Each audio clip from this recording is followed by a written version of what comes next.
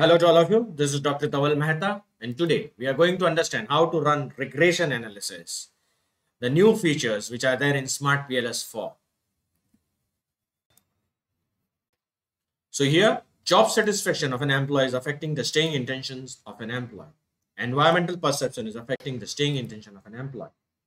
Organizational commitment is affecting the staying intention of an employee. Behavior of the co-workers and its effect on staying intention of an employee. I'll request all my viewers to kindly refer my previous videos so that you can understand the flow of this entire lecture series. Now to run the regression analysis here, what I'll do is, first of all, I'll save the latent scores of this constructs.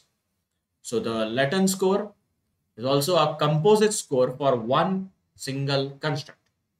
So I'll go and calculate PLS-SEM algorithm, start the calculation.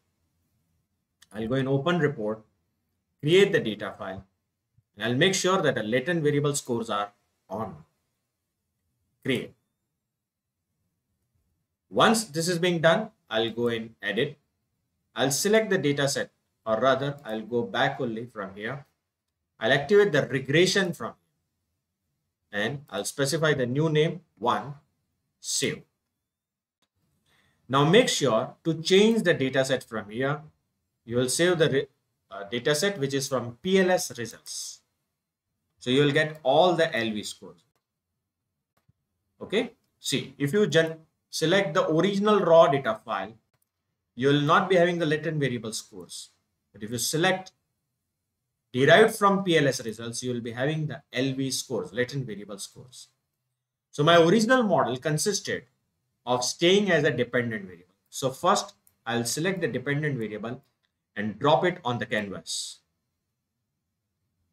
So the intercept is given as a result of intercept and the LV scores. Now my co-workers, environmental perception, job satisfaction, organizational commitment, they are all independent variable. I'll just simply drag it and drop it. Make sure this time you will drag it and drop it in the dependent variable. And you can see the results are ready. I'll select it and only co-workers are to be kept here. Environmental perception.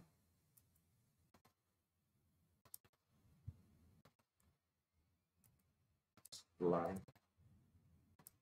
co-workers. Apply job satisfaction. Apply organizational commitment apply.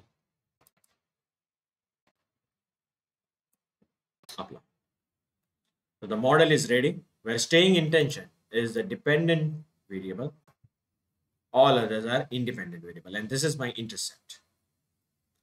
Now i'll go and calculate. I'll get only three options. I'll select regression analysis from here. Make sure it is two-tailed 0.05 start the calculation Open the report. Summary coefficients. The interpretation is that this values, the p-value should be less than 0.05. Then only we can say that these constructs are significant. So this is a summary coefficients. Moreover, this confidence interval should not should not consist zero in it. If zero is present, this construct will become insignificant. Positive to positive, no zero present, and therefore, this construct is that is environmental perception, independent variable is affecting the staying intention of an employee. Job satisfaction, no zero present in, in between these two confidence interval, p-value less than 0.05, quite good. This means that job satisfaction is significant. Here, positive to positive, no zero in between these two confidence interval. So organizational commitment is also significant. Positive to positive, co-workers significant. But if I talk about intercept, negative to positive, zero is present in between these two confidence interval and therefore intercept is insignificant. But for learning purpose, we will proceed ahead. The summary ANOVA. Here also the desirable is that this p values should be less than 0.05 so that we can say jointly all the independent variables are affecting dependent variables See, in summary, we are checking individually are they affecting or not. But in summary ANOVA, we are checking that jointly are they affecting the dependent variable or not. From here, we can make the equation. So if I want to form the equation, I'll use the unstandardized coefficients. How? Let us see. So I'll quickly copy this on the word file and I can form the equation which is here. The staying intention which is a dependent variable is 0.330 into environmental perception plus 0.079 into job satisfaction. Make sure that you always make an equation from the unstandardized coefficients plus 0.350 organizational commitment plus 0.098 into co-workers. Intercept was not significant, therefore it's not included here. So you can see that the staying intention of an employee is largely affected by two. One, the environmental perception and second is organizational commitment. Now, what is the explanatory power of the model? Or rather, how well the model is performed? Click on R square and you will get the value R square adjusted is 38.7 percentage. It's less. Normally it should be more than 0.6. So R square adjusted is 0.387 converted into percentage. You will get 38.7. Check the collinearity statistics. All the values should be less than 3. If it's less than less than 3, quite good. Now we will do the residual analysis. Kindly click on it. It will generate some values directly go to the descriptives and try to see the values which are there.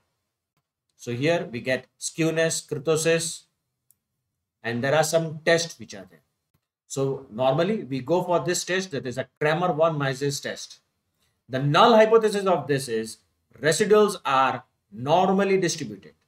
The null hypothesis of this test is residuals are normally distributed. So as the p-value is less than 0.05, we reject and we say that residuals are not normally distributed, not good for the model. So the desirable is that the p-value should be more than 0.05 here. Go in the quantile quantile plot. The desirable is all the red dots should be on this on this diagonal line. But here you can see they are not, it means that the residuals are not normally distributed. You can confirm this thing from the histograms also that there is some skewness in the residuals. This is also not good for the model. You can see some bars are, are outside the normal distribution plot. So for more videos on Smart PLS, kindly subscribe to my channel. You can follow me on LinkedIn and Twitter. Please refer my playlist in which I have already uploaded many videos of Smart PLS 4. Don't forget to press the like button.